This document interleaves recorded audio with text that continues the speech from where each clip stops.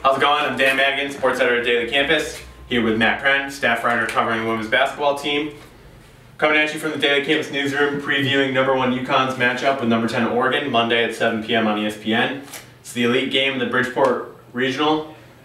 Winner gets a trip to a Final Four. If the Huskies win, it's their 10th straight trip, so we'll get into it. Oregon, the Cinderella of the NCAA women's basketball tournament, double-digit seed. Kren, what do we need to know about the Ducks? So Oregon's only the third ever uh, double-digit seed to make the Elite Eight, so that's a pretty amazing feat in that. They have three freshmen starting, Sabrina Ionescu, Ruthy Hebard, and Mallory McGwire. Uh, Hebard's their uh, leading scorer at 14.9 points per game, but Ionescu leads in assists and is second in points, so she's another player to watch. And she also has the most triple-doubles this season in NCAA. But big player to watch is Lexi Bando. She has 10 three-pointers in this tournament, and she's shooting 47.7% from the uh, from the three-point line this year, which is third in the nation. Uh, two interesting figures about Oregon: they're tied for the tallest team in NCAA, as they have six players over six foot four.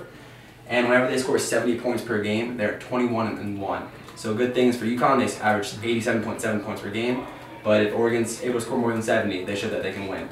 Dan, you want to talk about Ionescu? Yeah, Ionescu is probably one of the most dynamic freshmen that the NCAA, the women's NCAA tournament scene, maybe since Breanna Stewart, uh, in all honesty. Like Kren said, she's pretty dynamic, pretty good scorer, excellent passer, pretty good rebounder. We saw that all on display against Maryland.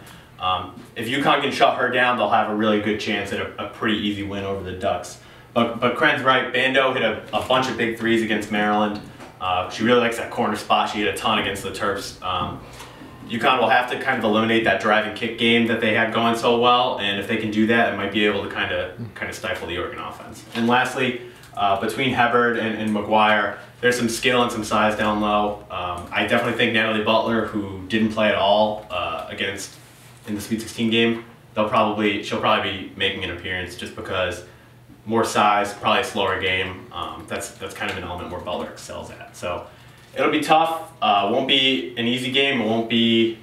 Uh, the Ducks are definitely better than a number 10 seed, but it'll be interesting to see how UConn kind of adjust their game plan from the UCLA game uh, to go in to go in against the Oregon team.